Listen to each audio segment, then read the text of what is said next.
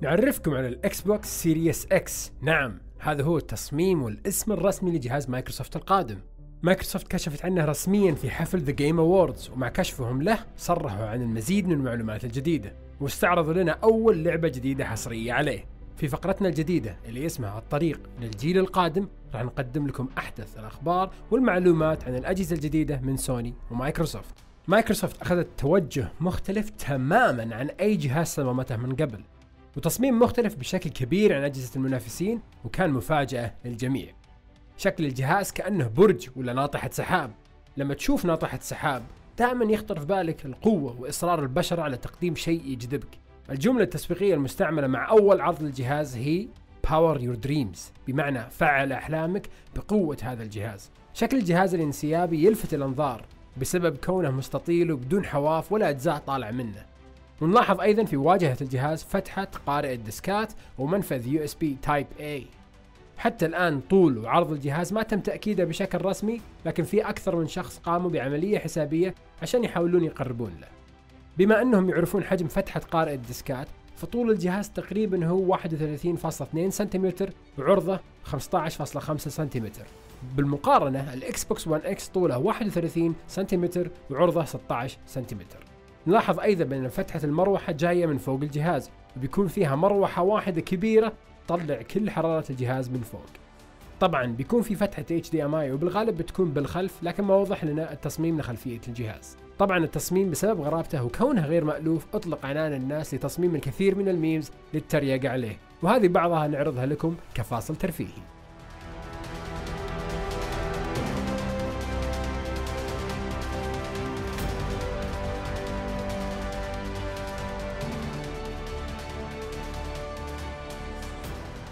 أيضا من نفس العرض اللي شفناه في ال Game Award تعرفنا على تصميم اليد الجديدة.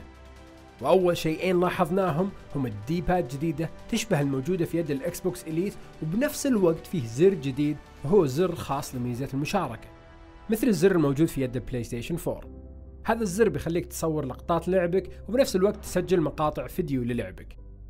طلع كلام إن يد ال Xbox Series X بتكون أصغر من يد ال Xbox 1 وأخف وزن. وأيضا الأزرار ال trigger ملمسها تغير ولا زال فيه اهتزازات طبعا. اليد الجديدة بتكون أيضا متوافقة مع جهاز مايكروسوفت الحالي ال Xbox 1 وأجهزة ال PC. أيضا كل من السماعات واليدين التحكم الخاصة لاجهزه ال Xbox 1 راح تشتغل على ال Xbox Series X. يعني ما في داعي تشتري أيادي كثير جديدة خصوصا إذا كنت شاريهم لجهازك السابق. الآن بندخل على بعض المعلومات الجديدة اللي توفرت بعد ما كشفوا عن الجهاز رسميا.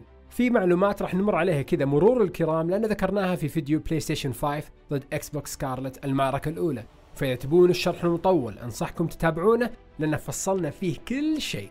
معالج ال Xbox Series X بيكون من النوع AMD Zen 2 المعدل على حسب طلبيات مايكروسوفت. بيكون 8 نواه وقوته بتصل إلى 3.8 جيجا هرتز وكرت الشاشة AMD Navi المعدل بمعمارية RDNA وقوته 12 teraflops مع ذاكرة عشوائية GDDR6 حجمها 16 جيجا بايت وعندنا وحدة التخزين NVMe SSD ولسرعة قراءتها للمعلومات تصل ل 2 جيجا بايت بالثانية. بفضل NVMe SSD مع بعض تقنيات مايكروسوفت الخاصة راح تختفي شاشات التحميل. كمثال أي لعبة فيها loading لمدة دقيقة راح توصل إلى مجرد ثواني قليلة واحدة من الميزات المثيرة للاهتمام هي أن صار عندنا القدرة في تشغيل أكثر من لعبة بنفس الوقت.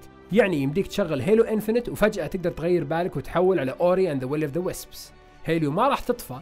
لما ترجع لها مرة ثانية راح تحصلها في نفس المكان اللي تركت اللعبة عليه. هذا الشيء بيختصر وقت كثير للاعب بدل ما تقعد ترجع على القائمة الرئيسية مرة ثانية. أخيرا أكدوا أيضا أن الجهاز صوته مرة خفيف وما له حس بيكون مثل ال Xbox 1 X أو أهدأ. أخيرا كشفوا لنا عرض للعبة الجديدة وحصرية لجهاز ال Xbox Series X وهي كانت Senua's Saga Hellblade 2 العرض كان مذهل وكل شيء شفناه كان مأخوذ من محرك اللعبة. طبعا هذا ما يعني إن رسوم اللعبة بتكون بهذه القوة لكنها target render وهذا يعني بأن الفريق يطمح لرسوم اللعبة إنها توصل لهذا المستوى في المنتج النهائي. وهذه كانت آخر وأجدد معلومات ال Xbox Series X في فقرتنا الجديدة الطريق إلى الجيل القادم. كان معكم نواف النغموش. لا تنسون تعطونا like على الفيديو وتشتركون بالقناة. يا أحلى متابعين.